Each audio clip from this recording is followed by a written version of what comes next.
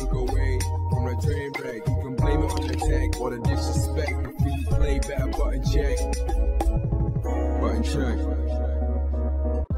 What is up, Butt Check family? Welcome back to yet again a beautiful Sunday morning of checking these buttons. Thank you guys for tuning in once again. Chapters down below, as always, if you want to skip around, and of course, the sub button right there. Thank you guys for everything. We got so much to talk about. We got tournaments this weekend. Tekken 8 is still blowing things out the water, among other things. Without further ado, ladies and gents, let's go. All right, now into them first set of disqualified CPT winner buttons that need to be checked. Okay, so if you're not too familiar, I, I, wasn't. I actually did not learn of this until I was tagged in the story by some of the individuals actually going through it. With that being said, I was like, damn, I almost missed it because I was tagged in it about a day or so ago, right? So once I looked into it, well, I'm about to talk too much. Anyway, let's unpack it. We'll talk after. So this was the initial post, right? Um, when he won, right? Saying, congratulations to Anik for winning the Fighters Dojo CPT WW 2023 Asia South Regional finals, earning the right to play at Cap Cup X, right? Top eight, you can see down below, obviously. He's number one, and you see everybody that followed, and he's rocking that chun. I noticed this clip from James Chen congratulating him as well. Check it out. We have a representative from Bangladesh, which is,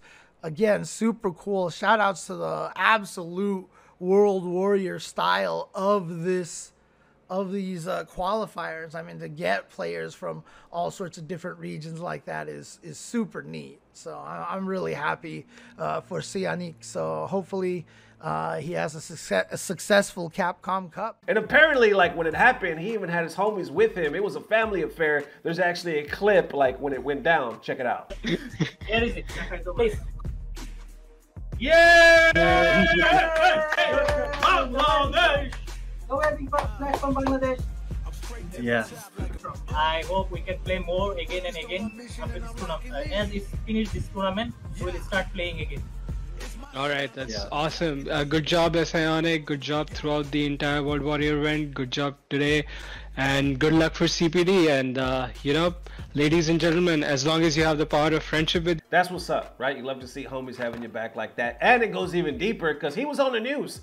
He was featured, on, I believe, like on his local news. Check out the clip.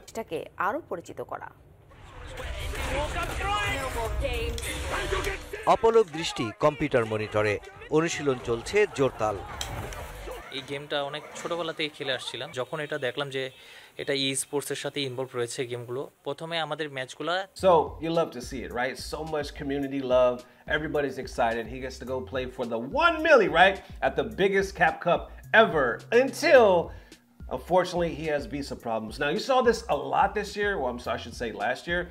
There was a lot, right? And you've seen it in the past before where players qualify, but they have trouble getting to America because there's something wrong with their visa. Amazingly enough, I'm talking about, I'm, i mean, I don't want to overshoot this, but I want to say it's like 70 to 80% of the times they tag Sherry Jennings. And I don't know if you know Sherry. She's been in the FGC doing the damn thing for a while, right? Great player and whatnot. Somehow she's able to help these players because when I see them tag her, everybody's like, tag Sherry, tag Sherry. She helps them, and they're always like, hey, got my visa thanks to Sherry. So I'm not sure what black magic or miracles she's able to pull off behind the scenes, but that's amazing. I think a lot of people need to take more time out to salute her. With that being said, Anik was having trouble finding his visa or getting his visa as well until literally just the other day. He posted this on the 26th. So by the time you see this two days ago saying, I just got my visa this morning, I really hope to be able to travel and play in Capcom X to represent Bangladesh and South Asia, hoping things work out, and of course tagging Cap Cup and Cap Fighters. So that's what's up. You're like, okay, he finally got his visa, but if you go to the official site of all the qualified players, I mean, literally just pull it up, he's not there go to all the qualified players. And you might be thinking, okay, well, maybe they just haven't put his picture up because uh, you know they were waiting for him to confirm. Not so much because if you go to that region, like where he's supposed to see, you can see the actual player that came second to him in that World Warrior by the name is, what is it, at Shadukin? Look, there's this picture right there, right? And if we go back, so if we go back to that original post, right, where it says congratulations to Anik. Now, if I'm butchering the name, I'm so sorry. But go back to that original post, right? Go down below where it says top eight. You can see him, but right underneath, you see it right there, Shadokin. That's the gentleman, obviously, that got second place, and now he's qualified. He's actually in Cap Cup, and the reason being is because they didn't think that Anik was gonna get his passport, or I'm sorry, his visa in time. That's why he's making this post saying, you know, he hopes that everything works out and that he can represent Bangladesh. And if you see the community responding, this is where I was tagged in it right here, right? Right here saying, our World Warrior winner from South Asia is reportedly being denied the spot he rightfully earned at CCX due to the slight delays in the visa acquisition process. In our view, they still have sufficient time to accommodate our champion help appreciated. Then it gets even deeper. I see Hurricane posting on it saying, please event organizers, tournaments where the winner is meant to be flown must conclude at least two months before the final event. Not all countries and residents in a country are visa free where you can just wake up and jump on the first plane without dealing with this situation. Then others adding to it saying, hope Capcom will make some rational decisions 20 plus days remaining for the tournament. Okay, so damn, I was definitely off. I thought it was like 30 or 40. It's about 20. 20. Okay, everybody, sorry for this update like this, but I literally just got this once again as I was editing, um, I believe, of some friends of C. Anik. And by the way, I'm probably butchering the name because I noticed the commentators pronounced it S.I. Anik. Um, but then James Chen pronounced it Cianique. So sorry if I'm getting it wrong, but we're gonna go with uh, Cianique. So obviously, since they're in a different time zone, I just got this message from them. They said uh, yes, uh, Capcom actually did respond to them, right? He said, uh, "Here's a quick timeline timeline of some context. Visa processing for the U.S. can take forever in Bangladesh, sometimes six to eight months, right?" After Cianique won CPT, he was told while any visa would do, most players use the athlete visa. So he pursued the uh, athlete visa and found out that the requirements that Capcom was unable to help with. Uh, so after some delays on messages from Capcom's end, Cianique was told uh, to go for a business slash tourist visa. Regular interview date set for October 2024, holy shit, this year, Alarmed Cianique paid a hefty extra amount for an emergency expedited interview date. Capcom suddenly alerted Anik about a deadline they opted to enforce at nine days after their email. Agency unable to secure Anik an interview date until the 26th of January. Capcom then let Anik know that they are moving forward with the competitor who placed second at the World Warrior event. Anik got approved for the visa on the 26th of January and let Capcom know immediately. Capcom responded via email saying verbatim, your interview is past our deadline, not even acknowledging the visa acquisition. It must be noted that Cianique spared no expense and wasted no time in his pursuit of the visa necessary so he can participate. Damn, that's crazy, right? So the parts that stick out, right, where they say Capcom suddenly alerted Anik about a deadline they opted to enforce nine days after their email. And right here, the nail in the coffin where it says Capcom responded via email saying verbatim, Your interview is past our deadline. Not even acknowledging the, the visa acquisition. So, like they told them, we have the visa now, and they ignored it and just said, Your interview is past our deadline. I guess basically going off the initial interview, right? Because they said, initially the interview was like October of this year, you know what I'm saying? Which is fucking insane. But like they said, like, yo, we got it expedited. We have it on deck. So why can't why are we not acknowledging that at this point? I mean, that's wild. So damn, there you have it. Just look, I think the reason why this sucks so much is because you see his backstory. You see the family, you see where he comes from, people cheering for him. He gets to play for a dream. He gets to play for $1 million. We all know that's a chance of a lifetime, right? But then there's like, it's a weird radio silence after that. You don't see anything like on Anik's page or anything on Shadowkin's page, just nothing. All of a sudden, Shadowkin is there for CPT. That's it. Like nobody's really talking about it until now, until you see this, right? So it's like, damn, Shadowkin's probably sitting in a really interesting spot, right? Because he automatically qualified, didn't expect it, but now he's seeing that Anik like has his visa but is it too little too late? And what do you do if you're Shadowkin? You know what I'm saying? Because technically, he didn't do anything wrong. You know what I'm saying? He got him a trip. But is it too late? Is 20 days before the event too late for this kid to live his dream from Bangladesh. Remains to be seen because you just can't help but want to root for the underdog. Hope Capcom sees any of this, not just button check, but anything on social media. How y'all feeling? Let me know. All right, next up for the Tekken 8 community getting even crazier, buttons that need to be checked. So we know FGC is getting down to some Tekken 8 more than ever. Well, obviously it just came out. Anyway, it's late, forgive me, right? We got a lot of hype action, and of course, we got some tournaments. We'll probably talk about that tomorrow. But for now, we got that Tekken 8, and we're just gonna cover it step by step to some of the crazy shit that's happening. First, I saw Ryan Hart post this saying, Kazuya Bogard intro pose, hashtag Tekken 8. 貴様をここで終わらせる茶番は終わりだ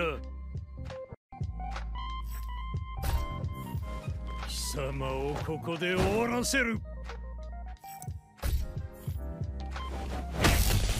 茶番は終わりだ This man literally dressed him up as Terry Bogard. The crazy, the crazy thing is, go down the thread.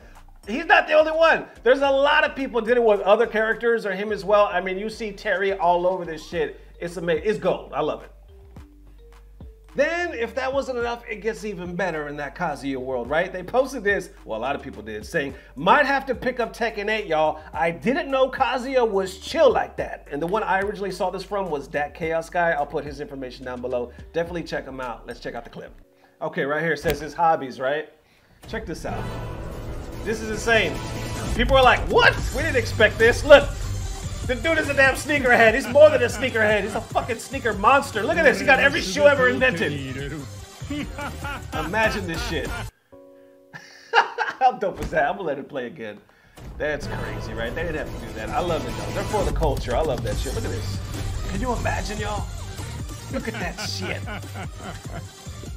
俺は全てを手に入れる Look at that, man. I'd be laughing evil like that too if I had that collection. Could you? Can, oh, I can't even imagine. That's dope as hell. I just love how the devs do cool shit like that. They obviously don't have to do stuff like that, but I think it just makes the character that much. Just makes them better. And of course, that FGC is loving it as well. You know what I'm saying, bros? Like they're saying the same thing. They got literally every shoe. Or what the fuck? This is what is this game about? It's peak. They love it. He got more heat than me. Uh, he's the goat. I see even Omni right saying, uh, well, he's just laughing at it. But either way, you see people are loving it. And some of the top comments right here saying Kazuya got up so fast on his feet, he was waiting for somebody to ask about his shoe collection. And words cannot describe how flabbergasted I was when I found out that this is his arcade mode ending and not a sponsored ad. Like, bro canonically takes over the world, and it's like world domination means nothing without some good SJs. And it gets even better, better because somebody posted this right at Jez Corden. I'll put their information down below as well. Said Tekken 8 marketing in London is going hard. Check this video out, bro. At first, I thought it was fireworks. Um, it's actually not. I believe they're individual drones. Let's get it. Look at this. How dope is this? It's right by the bridge, like above it. Look at this. Check it out.